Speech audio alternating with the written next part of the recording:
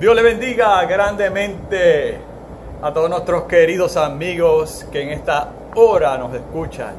Qué alegría, qué alegría grande estar con ustedes. Les saluda este su amigo y servidor Milton Torres. Qué bueno estar con ustedes en esta hora para que podamos compartir algo poderoso de la palabra de Dios. Génesis capítulo 12 en la Biblia que trae esperanza, que trae inspiración para usted en esta hora.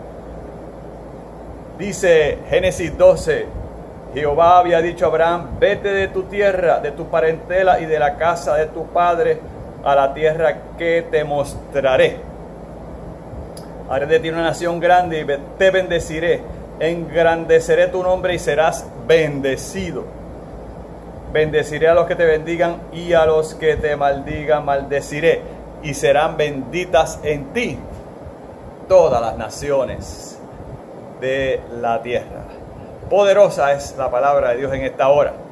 Y en esta hora las noticias son pesimistas. Las noticias que eh, podemos captar continuamente son difíciles, son penosas, son pesadas. Eh, no tenemos que enumerarlas. Usted la ve en la televisión, usted la escucha por la radio y da trabajo eh, a veces tragar y da trabajo digerir por lo difícil que están las situaciones en el mundo entero. No es un solo país, no es un solo país, no es un continente, es el mundo entero. Las situaciones se han puesto difíciles. Pero ahora en este momento usamos la palabra de Dios para decirle a usted, Génesis capítulo 12, Dios nos llama a vivir en fe. Dios nos llama a vivir en fe. ¿Cómo? Como Abraham vivió en fe. Le dijo Dios, vete de la casa de tu parentela a un sitio que te mostraré. Y Abraham obedeció a Dios. Al obedecer a Dios, Dios lo bendijo, pero grandemente bendijo Dios a Abraham. Grandemente. Y así de esta manera Dios nos está llamando a vivir en fe. Vamos a ver en este día, vivir nosotros, vivir en fe. Sí, usted y yo vivir en fe. Vamos a ver cómo Dios bendijo a Abraham, porque él decidió vivir por fe y en fe. Primero bendijo su salud y la de su familia. Observe usted que la esposa de Abraham, que se llamaba Sara, era estéril. Toda su vida había sido estéril. Toda su vida había sido estéril. Y a la hora que llegaron estas promesas, preciosas promesas, que le dio Dios. Preciosas promesas que le dio Dios. En esta hora ya estaban ancianos en los 90 años, Abraham y su esposa Sara. Y ella era estéril, no habían tenido hijos. Pero Dios sanó la esterilidad de Sara y pudo tener un hijo que llamaron Isaac. Así que primero Dios dice va a proteger su salud. Dios va a proteger su finanza, dice la Biblia que Abraham era extremadamente rico. Bueno, no queremos decir que usted se va a volver rico en esta hora, pero con los riesgos que Abraham se entró al obedecer a Dios, puso en riesgo su finanza. Me voy de viaje, tomo mis maletas, me voy para aquí, me voy para allá, pues puso en riesgo su finanza.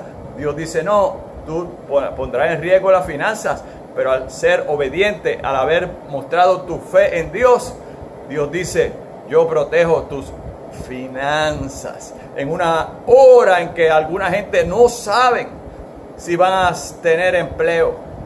Algunos desempleados no saben si van a conseguir empleo. Alguna gente que tiene negocio no sabe si va a haber clientes para su negocio. Observe, Dios protegió la finanza de Abraham y Dios lo bendijo en grande. ¿Qué Dios bendijo? Dios bendijo su familia grandemente.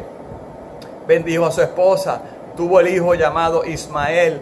Tuvo el hijo llamado Isaac. Y a pesar de sus errores, porque hubo algunos errores, Dios lo bendijo grandemente. Dios bendijo su destino profético, es decir, Dios tenía planes futuros con Abraham. Dios tenía planes con él a llevarlo a ciertos lugares. donde él iba a ser su influencia, iba a ser de ayuda a la otra persona. Eso es lo que llamamos una persona que va a ser bendición para los demás. Va a ser bendición para las otras personas. Va a ser de ayuda a las otras personas. Ese era el destino profético, o por lo menos uno de los destinos proféticos de Abraham. Dios dice, yo te ayudo a ti, te doy provisión, pero tú vas a dar provisión para otros. O Dios dice, yo te bendigo a ti y tú tendrás la habilidad de bendecir a otros. ¿Cómo vas a ayudar a otros si no vas a, si no tienes en tu, en tu finanza la manera de ayudar a otros? Si no tienes la capacidad, Dios dice, yo te doy la capacidad de ayudar a otros para que tú ayudes a otros. Y estamos hablando de naciones. Dios, eh, eh, Dios usó a Abraham para influenciar y bendecir naciones. Eh, también Dios bendijo las generaciones futuras de Abraham. Pero usted dice, pero ¿cómo es eso? Sí, bueno, nació Isaac, nació Jacob, de Jacob hubo otro grupo grande de hijos, de ahí salió la nación de Israel, nacieron eh, muchos hijos que por siglos, por generaciones, hasta el día de hoy, son gente que Dios ha bendecido. Pero también podemos mencionar a los cristianos que consideran a Abraham por padre. También pudiéramos mencionar a los musulmanes, consideran a Abraham por padre.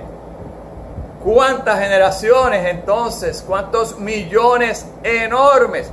Y podemos quizás decir billones con B han sido bendecidos por causa de la influencia de Abraham. Es decir, centenares de generaciones fueron bendecidos por la influencia de Abraham. Pudiéramos elaborar en eso. Pero usted se preocupa, ¿qué va a pasar con mis hijos? ¿Qué va a pasar con mis nietos? Las personas tienen esa preocupación hoy día. ¿Qué va a ocurrir con las futuras generaciones? Bueno, pues ahora Dios tiene un mensaje. Si usted vive en fe, Dios va a bendecir las futuras generaciones. Dios bendijo a Abraham con buen nombre, porque dice ahí en la Biblia, Génesis capítulo 12, léalo ahí, te bendeciré, engrandeceré tu nombre, es decir, te voy a dar una buena reputación. Alguna gente tiene mala reputación, pues nadie les hace caso. Dios le dijo otra beneficio de vivir en fe. Dios le dijo, yo te voy a dar protección. ¿Cómo que te voy a dar protección? Vamos a ver esto que te dijo. Yo bendeciré a los que te bendigan. Y yo maldeciré a los que te maldigan. En otras palabras, yo voy a, los que son tus enemigos, yo me voy a encargar de ellos, los voy a maldecir.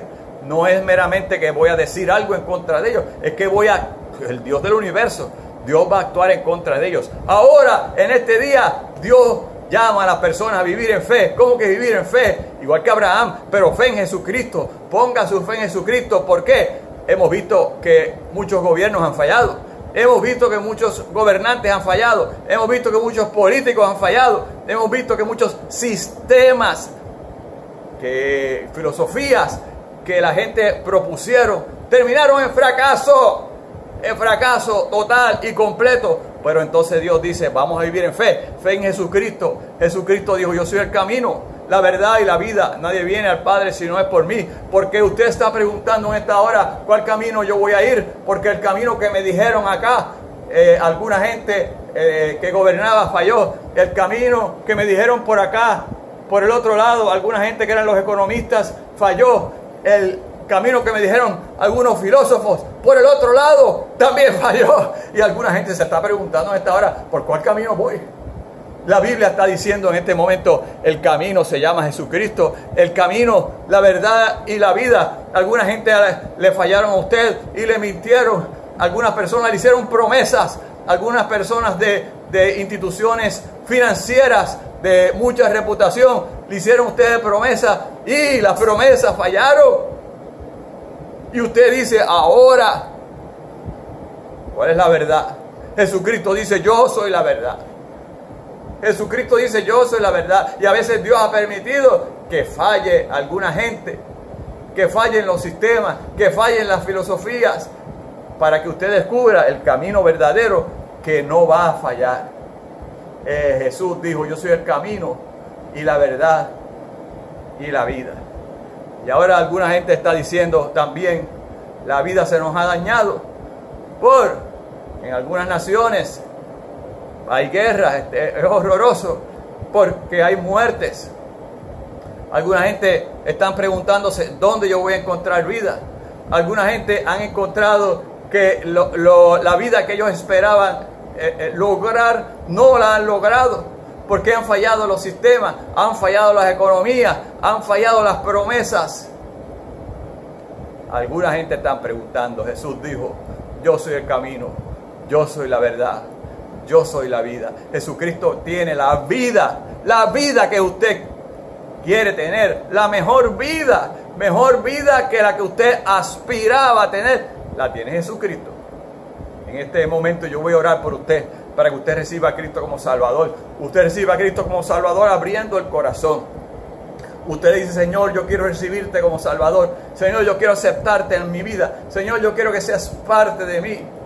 Señor, yo reconozco mis fallas y yo he visto las fallas de otros. Por lo tanto, ahora yo quiero tener a Jesucristo en mi corazón. Usted abre el, corazón en este momento. Jesús dice, yo voy a entrar a pesar de los defectos, a pesar de las fallas. Él quiere entrar. ¿Por qué? Porque Él le ama, dice la Biblia. De tal manera amó Dios al mundo que dio a su Hijo unigénito para que todo aquel que en Él cree no se pierda más vida eterna. Quiere decir que Dios le ama a pesar de sus defectos, a pesar de sus errores, a pesar de sus debilidades. Usted lo puede recibir en esta hora y Jesucristo le va a dar vida.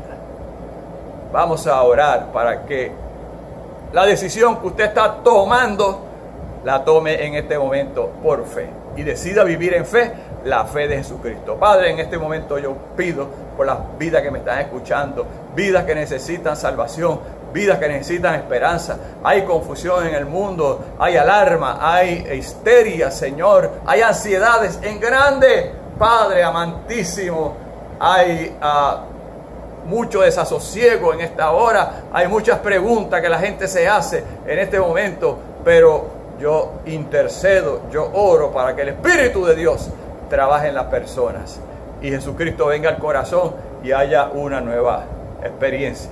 En el nombre de Jesús oramos. Amén, Señor. Dios le bendiga. Gracias por estar con nosotros. Lléguese a nuestro sitio web, Ministerios Agape net ministeriosagape.com para que usted vea más informaciones sobre la vida espiritual que Dios ofrece. Qué alegría estar con usted.